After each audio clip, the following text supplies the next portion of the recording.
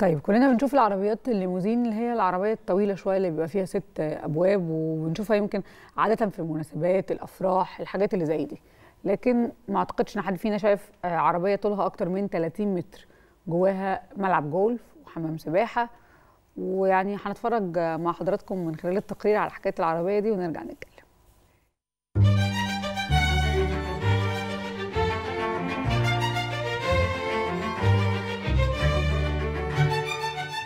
الاختراعات والابتكارات الجديدة انتشرت بشكل كبير في العالم وبقينا في بعض الأحيان بنتخض أول ما نشوفها. ويمكن آخر حاجة لفتت أنظار رواد ال social media عربية عادية قدرت تحطم الرقم القياسي ودخلت موسوعة جينيس بعد ما اتعمل عليها بعض التعديلات. العربية دي أصبح طولها 30 متر مع مميزات مش متوفرة في أي عربية تانية وأول تعديل اتعمل عليها كان من 35 سنة.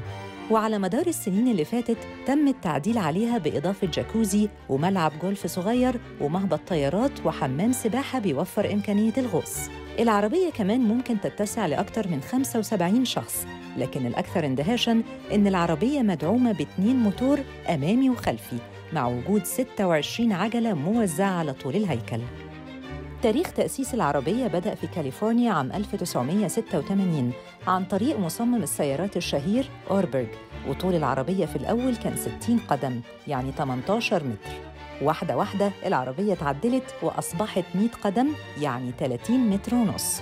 تم إدراج العربية في النهاية على موقع إي باي وتداولت مرتين وتم شرائها مقابل مبلغ لم يتم الكشف عنه. وبدأ صاحب العربية يجددها ويرممها لحد ما اعترفت بيها موسوعة جينيس كأطول عربية استثنائية في العالم.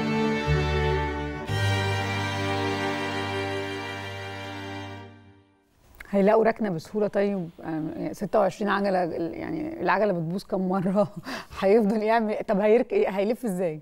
ويطلع المطبات إزاي؟ ده أتوبيس. يعني أنا ده أعتقد إنها- أكبر من أتوبيس كمان. تتركن يعني تتبسط بيها كده وهي مركونة. أنا استمتع بشكلها فقط. آه.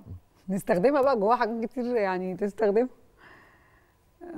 الجولف فعلا هيتلعب في المطبات إزاي؟ لا ده في حاجات كتير جوه العربية. محتاجين نعرف يعني بيستخدموا الكلام ده إزاي يا جماعة؟ أعتقد إن العربية تكون راكنة وتتحول بقى لأوتيل صغير كده. مثلا آه. لكن ما تتحركش. لا ما صعب بصراحة.